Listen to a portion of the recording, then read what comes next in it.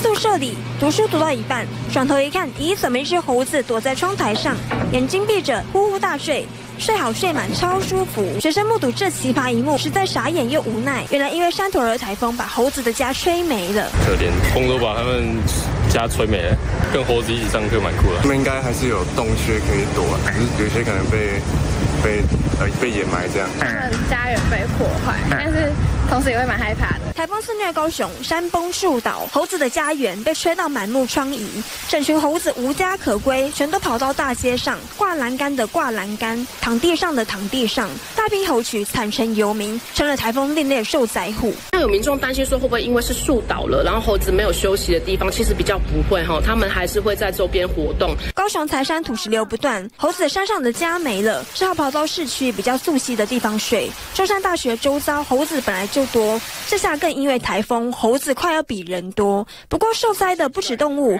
连植物也惨兮兮。全淹水，我的山药园全淹水，大水冲了，要费很多很多时间重新整理。号称新北健康三宝之一，盛产在新北双星的山药，二十六号还即将举办山药节，结果也被台风摧残，一大片农田全被土泥覆盖，农民赶着跪在田里抢收，但根本赶不上水淹速度，山药田几乎烂光光。上个月才受到低气压致灾性大雨淹过一次，没想到这回山头儿再次让农田变池塘，紧急抢收不到三成，农民们也欲哭无泪，实在好无奈。台风过境，动植物全部都受灾，惨兮兮。记者综合报道。